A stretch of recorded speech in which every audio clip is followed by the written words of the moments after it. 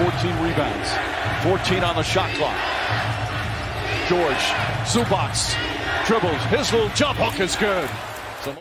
Three-point game with a minute and 40 to play. Cameron Payne looking off the glass, he backs it home! That's the screen. So they get the matchup that they want with Kennard defending Payne. Shot clock at six. Payne gets inside. Layup blocked by Zubac.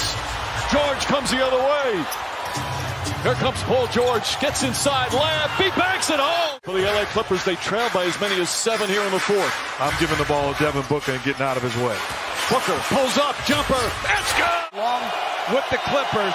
There'll be no shot blocking at the rim. George. Jumper. Got it. Paul George. Into the hands of Booker. Booker against Beverley. Finds Crowder. Bridges for three. Won't go. Ball knocked out. And it's still Suns ball with eight. Big body in front of you. Crowder looking, throws it alley. Oh! Ayton puts it down! He puts it down!